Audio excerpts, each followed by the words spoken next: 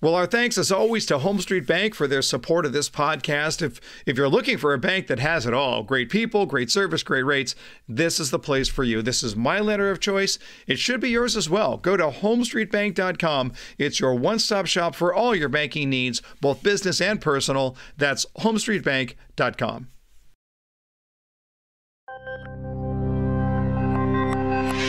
How soon in the shopping process does the emotion kick in? Sooner than you might think, and we're going to discuss it today on The Buyer's Mind.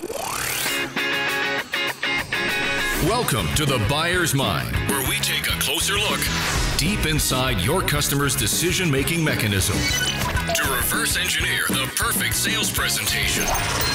Now, please welcome your host, Jeff Shore. Well, welcome everybody once again to The Buyer's Mind, where we investigate just what's going on into the mind of a prospect who is thinking about making a purchase decision. We always believe here on The Buyer's Mind that if you understand your customer well enough, that sale will begin to roll out right in front of you, and you can reverse engineer your own sales presentation by getting to know the customer really well. Uh, I'm your host, Jeff Shore, joined as always by our show producer, Mr. Paul Murphy. Uh, so, Murph, when we're thinking about how early that emotion kicks in, does that surprise you? Do, do you do you think about the presence of emotion even in our online shopping? I, I don't. Uh, I, I, guess uh, yes and no. Uh, you know, you get excited about buying something, uh, especially if you're doing it online because you're looking forward to it. But at the same mm-hmm. time, I also think, eh, I'm thinking through this logically. Yeah, you know, I think that that's exactly what happens. We we think that we're thinking logically when we're shopping online. Uh, but the fact of the matter is that online presence, whether that's in uh, the idea of, uh, of a website or a social media post or even an email, uh, that digital presence uh, still causes us, if it's done right, to engage emotionally. This is what a great a marketing and sales company does, whether that's on a website, social media, even email, whatever it is. And I'll give you a, a picture of this, an example. go to a website website called johnscrazysocks.com. johnscrazysocks.com. And this is a great example of an organization that is bringing you in, wrapping you in emotionally. In other words, they they want you to be emo- emotionally vested even before you start thinking about the product. Now, as you could probably guess, the product is Crazy Socks. But when you go to the website, you're going to find that the story is really about John. And John is a wonderful, wonderful young man who happens to have Down's syndrome. And with his father, he just really enjoyed Crazy Socks. And they built this entire company together called John's Crazy Socks. But again, the great part of it is it's not about the socks, it's about drawing you in emotionally. It's about a really, really great story. Now, that brings us to our quote of the day. And I, I got this, I was reading an article on Forbes uh, from Omar Genblad, and he says, Consumers are no longer just consumers, they are individuals with similar emotions. That's interesting. We tend to think far too much about our product when we consider our digital presence and our digital platforms. What we really need to be thinking about is how do we create an emotional bond and what does that look like? before we get to our interview, uh, I want to make a suggestion here in the form of a sales tip. Before you post on social media, before you send that email, uh, before you're going to comment on that blog that your customer might read, stop and consider how you will reach your customer on an emotional level. How can you tap into joy? How can you tap into anticipation? So often we think that when we're going to try and reach our customer, even in the online experience, that it's going to be about this cool feature about our product or or or, or that opportunity and that that unique value advantage that nobody else has, or maybe even this special. No, that's not the way your customer wants to buy. Before you post, ask yourself the question how can you tap into the joy? How can you tap into the anticipation? How can you engage your customer emotionally? Well, we're joined by author, keynote speaker, prolific blogger, the CEO and founder of 60 Second Marketer. That's the number 60secondmarketer.com. We'll put that in the show notes. Uh, a really, really interesting guy, especially on the topic of digital marketing. Please welcome Jamie Turner. Jamie, how are you? Hey, Jeff, I am doing great. How you doing? Good, good, good. Where are you calling in from today, my friend? I am in Atlanta right now, getting ready for uh, an overseas speaking tour that'll take me from Barcelona to Nuremberg to uh, Tel Aviv and London, all sorts of places. But right now, I'm uh, dialing and and uh, smiling with you from Atlanta, Georgia. Very cool. Do you find when you're when you're going to different countries that you have to change your message at all to match some of the cultural nuances of of the international audience? Yeah, I, I love that question because it's actually a very interesting question. I love the study of cultures mm-hmm. and of people and of humanity. Uh, and that question kind of leads us down that path. I'm going to make a generalization with the understanding that this is a generalization. I, I get it. I'm not trying to stereotype anybody. But what I have found is that in the warmer climates, people tend to be more engaged. What do I mean by that? In Southern Europe, so Spain or Italy or things like that, you'll get people in the audience engaged and laughing and sort of engaging with me on stage. Same thing happens when I'm down in Latin America. When I get to Northern Europe, so my friends in the Netherlands or in Sweden or anything like that, they tend to be much more reserved and they, they almost intellectualize everything. They're listening, they're participating, but all of the participation happens in their brain as opposed to other parts of the world where it happens with their body and their questions and everything like that. So it's it's really kind of an interesting thing to watch that happen in different places around the world. And, and you have to sort of adjust your expectations going into that because otherwise you're feeling like I'm dying right here. Uh, it's just that the audience is just responding differently. I, well, it's funny. I did have that exact thing. The first time I realized that was years ago. I was in the Netherlands.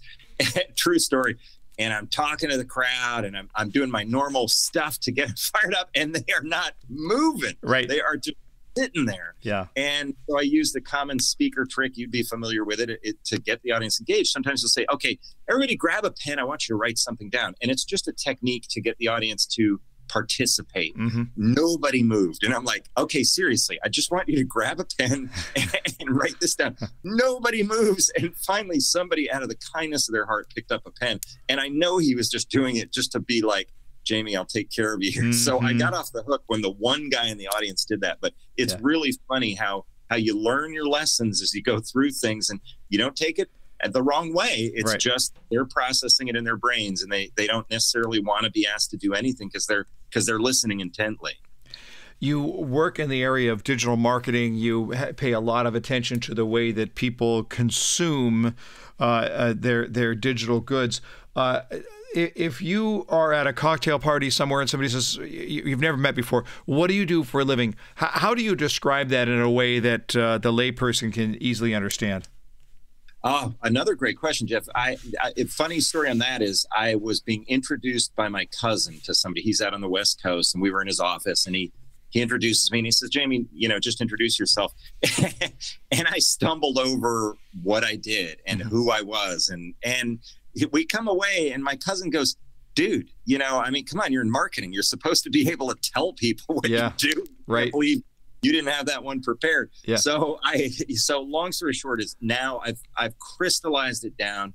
I say I'm an author, a speaker, and the CEO of 60secondmarketer.com.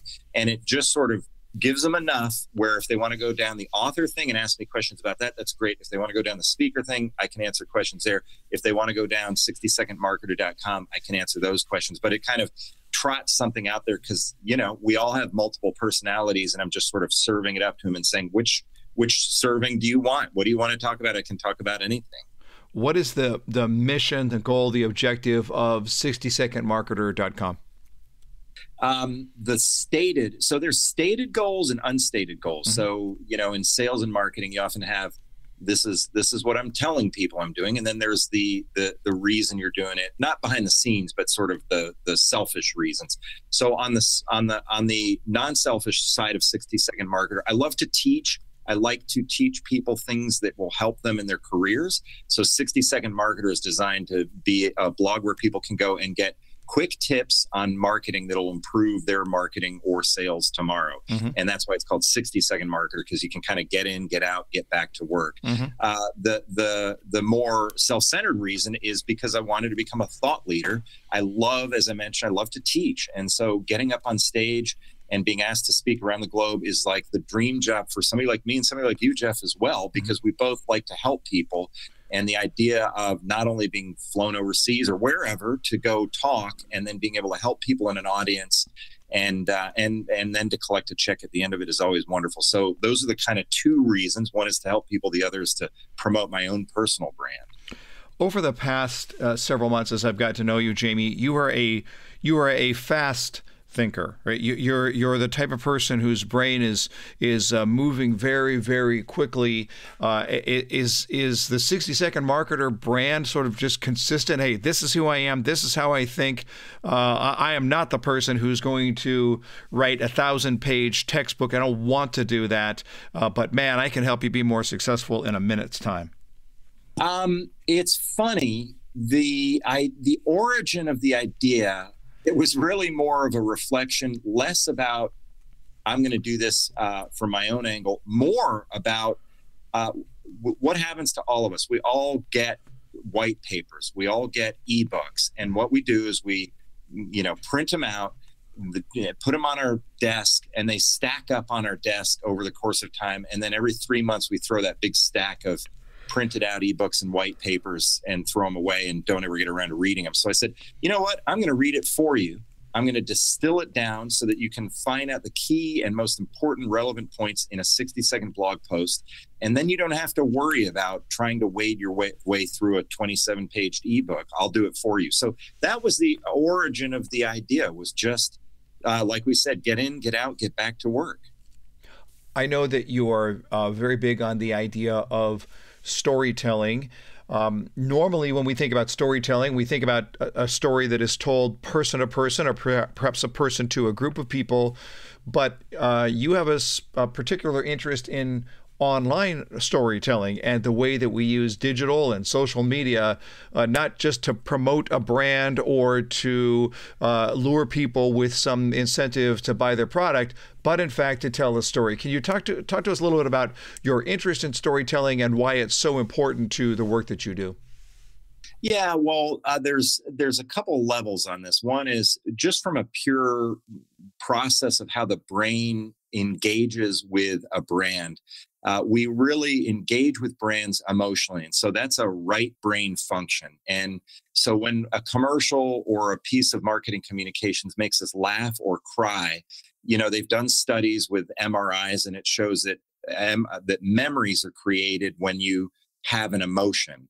When you don't have an emotion, uh, then the memory isn't created. And an interesting sort of uh, tangible example of that is if you're at a cocktail party and you meet somebody who is the name of the person you dated in college, that's an emotional thing for you. And you won't forget their name. They'll come up and say, Hi, my name's Alice. And you won't forget it because you're like, Oh, I remember I dated somebody named Alice. Mm-hmm. But if somebody comes up to you and just says their name, you if you're like most people you forget it the next minute well that's because emotions create memories so coming back to how that applies to marketing marketing, what we're always trying to do is to create emotions to get people's attention and get them to lean in and think about your product and remember your product or service. In the long run, that ultimately results in something called nonlinear marketing. And nonlinear marketing is what brands are doing in the post advertising era. So, what I mean by that is we're in a world right now where when Jeff, when you and I were growing up, we'd watch TV commercials and we'd sit there and, you know, go buy products based on the TV commercials. Well, people aren't seeing TV commercials anymore because they're DVRing through them or they are doing on demand or they're going over the top and watching off their computer. And so the result is marketers are trying to have to figure out how to get connected with prospects and customers and the way to do that is through something called nonlinear marketing. And again, it's basically where the brand weaves itself into the fabric of your life. So the brand becomes part of your life the way Red Bull does, or the way Lego does, or the way Starbucks does. And it's less about traditional advertising and more about this kind of nonlinear approach where the brand has become part of your life and you hardly even notice the advertising and marketing messages that you're getting because you're participating in aspects of your life with the brand. So yesterday I was in uh, San Antonio, Texas. Uh, I was I delivered a keynote speech uh, uh to a client, but while I was there, I looked up uh, a, a, guy I know that he he was in one of my mastermind groups a few years ago. He I, I said, "Hey, I'm in town. Let me just swing by and say hi." He gave me directions, uh, and he specifically said, "Turn left at the Starbucks. When you see the Starbucks, turn left." And yeah. Of course, I didn't drive by that Starbucks. It was 2:30 in the afternoon. I was a little bit tired from my travel, and it's a yeah. Starbucks. Uh, so, look, I don't even consider myself to be a Starbucks junkie. I'm not the guy who goes to Starbucks uh, uh, every day and brags about it, and yet there is that non-linear, just sort of built into the fabric of my life that I can't deny. Yeah, absolutely. And if you if you did while you were in San Antonio, stop into that Starbucks, all of that stuff that familiarity that you that you the smell the the sounds the cool factor of starbucks all becomes part of your life. And so whether you're in san antonio or whether you're in any other part of the country it's it's really ingrained in you. So it's and it's interesting that the guy was using it as a landmark too. Mm-hmm. sure yeah, right. Uh, it's well, it's so ubiquitous. It's it makes it easier yeah. to do it uh, these days. How does that work online? You, you do so much of your work with digital marketing. How do you promote nonlinear thinking or nonlinear marketing in an online environment where perhaps someone has never actually uh, physically interacted with a product? Yeah, so you know, content marketing is a version. It's one aspect of nonlinear marketing. So if what you're starting to see now is brands going in and doing almost their their own mini series on YouTube and things like that mm-hmm. just to get people engaged and to get them to to participate with the brand but there's a number of different ways that you can do that and it, it's mostly revolves around providing information for your prospect that's going to help them improve their lives. If you do that, they're going to remember you. So you don't even need to sell. You just need to say, hey, here's something that'll improve your life, whether it's here's a photography video for people who are buying Canon cameras, or here's a, a video for some about uh, filling out your tax return for somebody who might need a tax attorney. Both those are kind of nonlinear in nature and they use helpful content in order to to help people and get them engaged with the brand and ultimately sell them something in the long run. Mm-hmm. Yeah, yeah. So uh, the, the idea of content marketing obviously is not new, but what do you think uh, either individuals, sales representatives, or organizations get wrong in content marketing? How, how do you do content marketing poorly? Uh, two things strike me. One is um, too much selling, although sometimes I see brands that don't do enough selling. Like they'll they'll do a they'll do a bunch of research and write an ebook and then and then they hardly even mention that you know this ebook was brought to you by this company. I'm a fan of look, if I'm reading your ebook and I know you've put a lot of time and effort into it, I'm okay if there are paragraphs in there that say here's what our research found and oh by the way we solved that problem through our product and I, so i'm oftentimes pushing that a little more but the other side of the equation is, of course, you don't want to come across as uh, inauthentic or or or too pushy. The the the other thing is, uh, a lot of times people think that anything in marketing or sales is going to be a silver bullet. So they they assume, you know, if I just do YouTube videos once a month, that's going to solve my problem. And the reality is, is you know, and I know as well, it really marketing and sales is all about consistency and doing a number of different things and it has what I call circular momentum, which is basically the snowball effect. If you keep doing everything, it just kind of keeps going around in a circle and it builds on itself, and suddenly every little piece adds up and helps the other little pieces.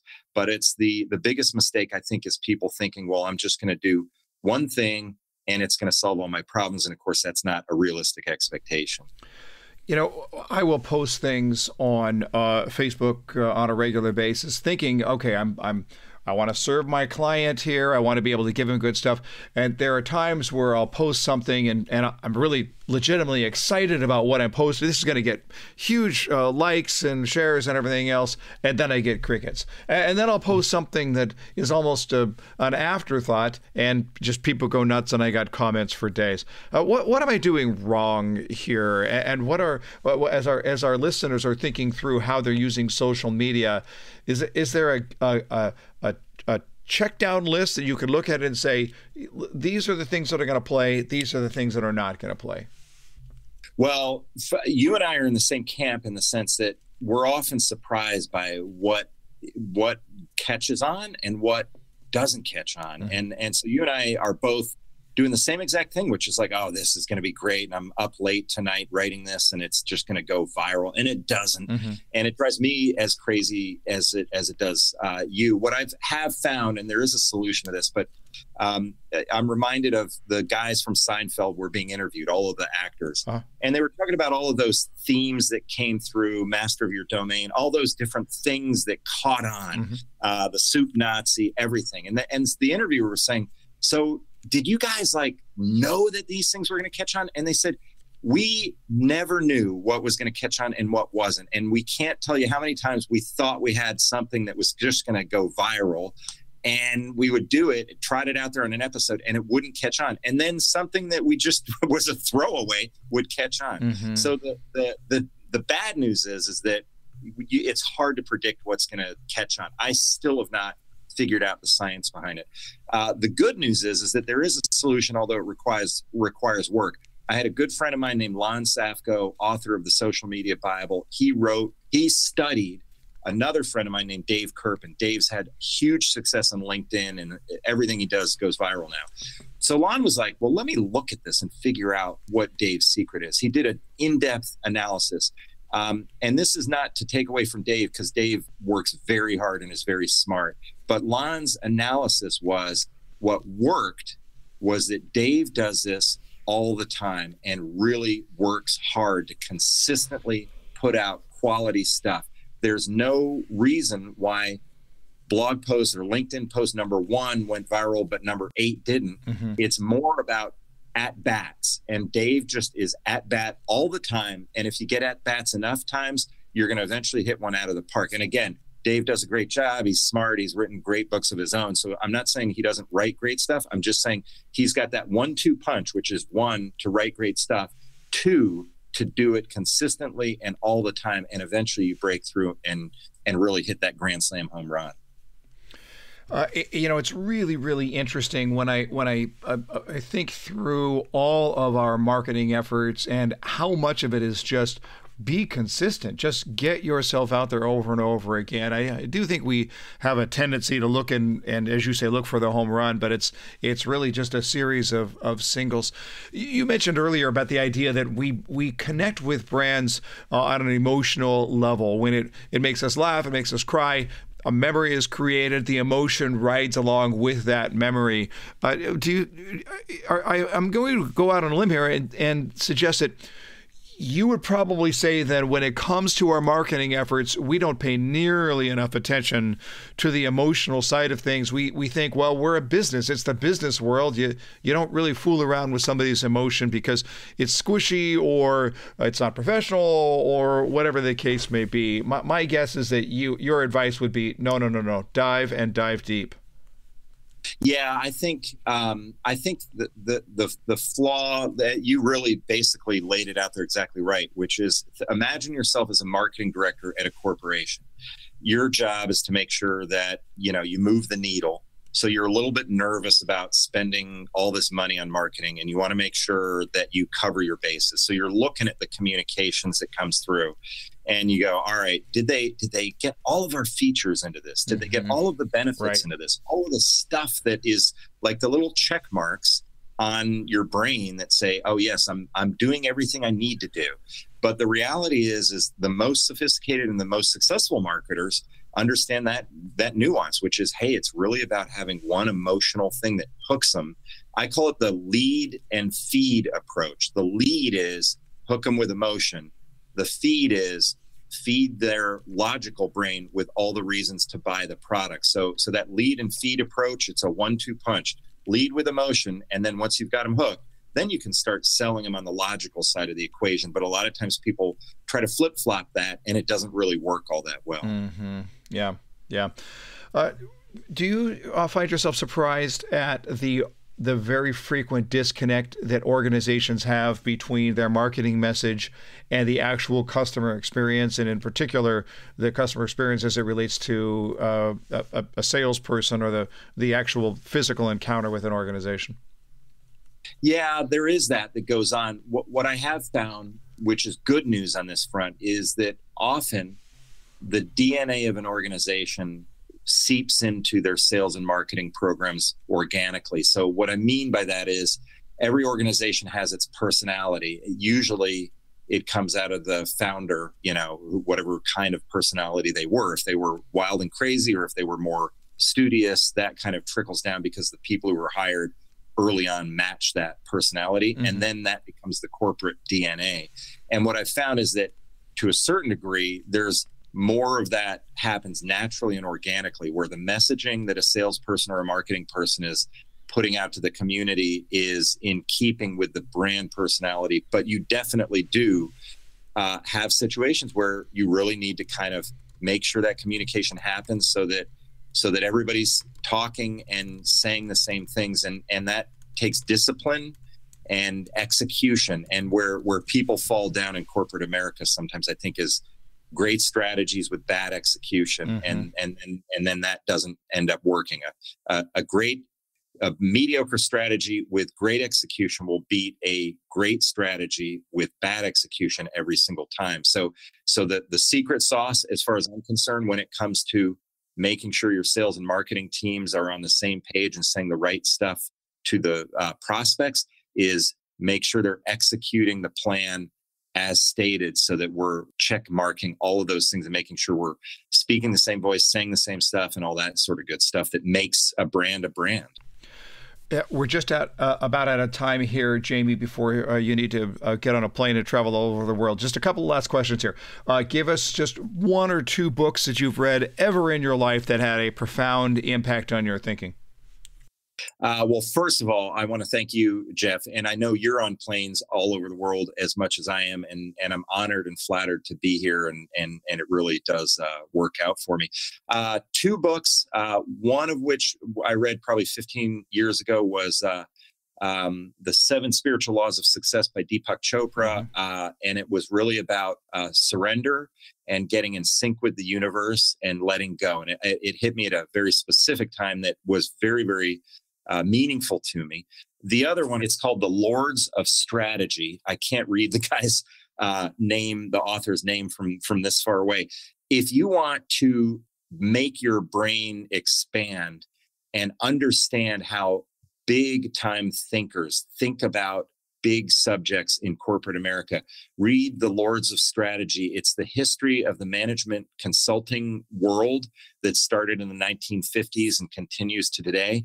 And it just talks about these people and why they you know what they saw as their their angle for their companies whether it was mckinsey or bain or boston consulting group and i got to tell you i read that book and my I, I literally think i was smarter by the end of reading it i mean it was just amazing how how big a book it was and it's not that hard to read mm-hmm. you just have to pay attention so those two books uh, seven spiritual laws of success and the lords of strategy both great books cool uh, most beautiful place on the planet you've ever stood when I was in college, I was backpacking through Europe. I met some uh, young young women. I'll just be honest yeah. with you. We went up to a, mount, a cliff on on on the North Sea in Scotland, and looked out over this the cliff uh, at the ocean and watched the sunset. And when you're that far north in the summertime, the sun sets about 11 p.m. at night and sat there and drank wine and ate, ate cheese and, and bread uh, and watched the sunset. And to this day, I still say, you know, that was one of my favorite things of all time. Love it. Love it. Love it. And finally, uh, at your retirement party, decades from now, Jamie, uh, you want people to say, if there's one thing I learned from Jamie Turner, it would be this. I'm going to go on a limb here. There, there's two two things that are crossing my mind. One is I, I do take uh, great pride in in being a, a good husband and a good father, mm-hmm. and uh, uh, the results of working very hard at being a, a father and a husband seem to be paying off. I've got three daughters who are just amazing.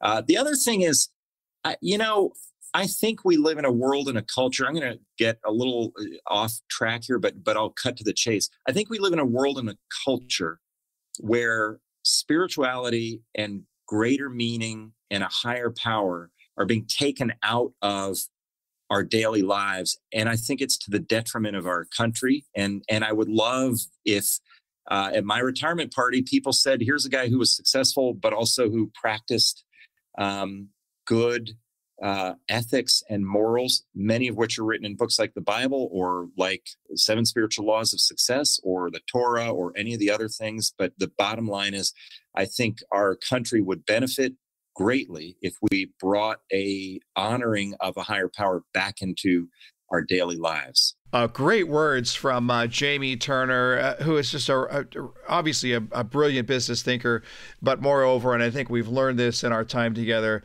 just a really genuinely good guy. I'm, I'm proud to call him a friend. Uh, I, I'm, I'm so thankful uh, that Jamie took the time to be able to enlighten us today. Jamie, thanks for being on the Buyer's Mind.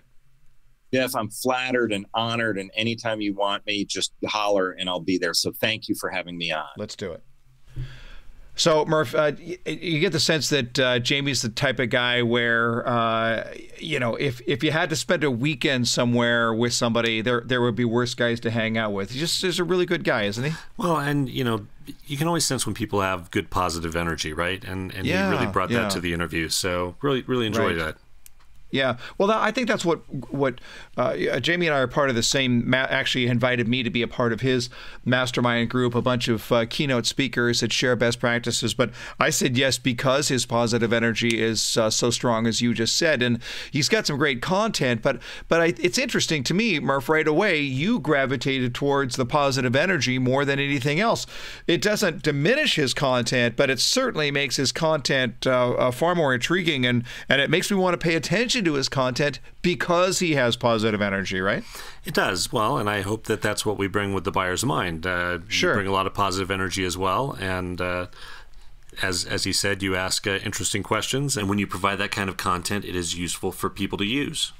I love uh, the concepts uh, that uh, Jamie was bringing out, especially as uh, as it regards to the idea of how we engage with brands emotionally. This is something that we've talked about in the past at the buyer's mind, but uh, he, I, uh, Jamie put it this way: when we when it makes us laugh or it makes us cry, then memories are created, and those emotions right along with the memory, and that's exactly the way that emotions work and and how they interplay with that memory. I do think that we can have a tendency to underplay this. It's something that I've held for quite some time that we can say, well, we don't want to get too gushy or squishy or weepy on all of this. But the fact of the matter is, our customers are emotional creatures and they make decisions out of their emotions. So we, when we ignore that, they actually make worse decisions. That's the work of Daniel Kahneman. But but I, would look at it and say when we can attack that emotion and, and attach to that emotion,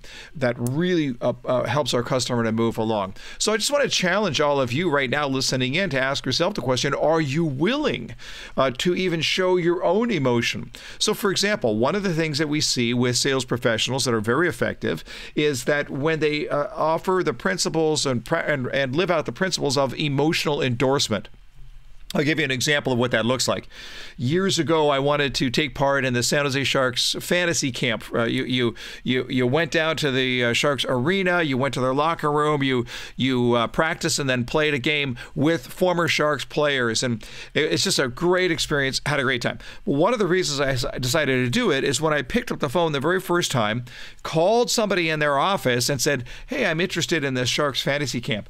And her response sounded something like this Oh, I am so excited for you. This is going to, you're never going to forget this day. It's going to be one of the most enjoyable days of your entire life. Good for you. My name's, and then she gave me her name, whatever it was. Eh, eh, but the point is that I still remember that phone call because her emotional endorsement of what I was considering purchasing was so profound that I adopted it. I just picked it up as my own. And I want to challenge all of our listeners right now just to ask yourself that question does my customer see my emotional endorsement? Do, do, they see that I am willing to engage emotionally? Because mark my words on this your customer will never outpace you emotionally. So if you are showing no emotion, then your customer is going to pace that. They won't show it. They, it's very difficult to show emotion in the absence of the salesperson.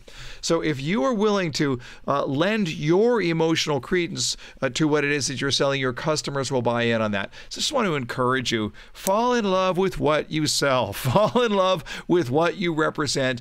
And if you are in love, let your face know. Because when your customer buys off on that, when they pick up that emotional endorsement, they claim it as their own, it is so much more enjoyable and so much easier to buy when I feel like I have permission to be engaged emotionally. That's when you have the opportunity uh, to help them do what they want to do anyway. That's when you have the opportunity to change their world. Well, there you go. Another episode of The Buyer's Mind. If you're enjoying the podcast, make sure you subscribe to that. Would really appreciate that. Leave a review if you wouldn't mind too. But that's another wrap on our podcast. I hope you enjoyed it. You can find everything you need at jeffshore.com. But until next time, my friends, go out there and change someone's world.